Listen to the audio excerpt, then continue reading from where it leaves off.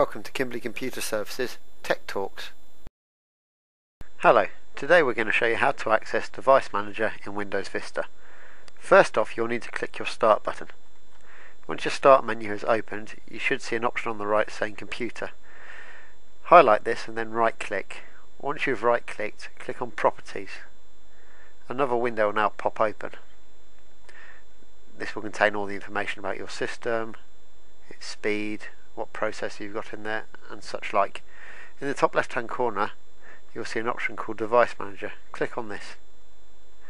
You may then get a uh, security message up here which you will need to click Allow or Continue to. Once you click your device manager will then open and this will list all the devices, drivers, graphics cards, modems, everything that is on your computer. This is quite useful if you need to change uh, settings, remove things, add things, um, or if something is playing up, you can always uninstall it or disable it to see um, if that fixes the problem. But that is how you access Device Manager. Thank you.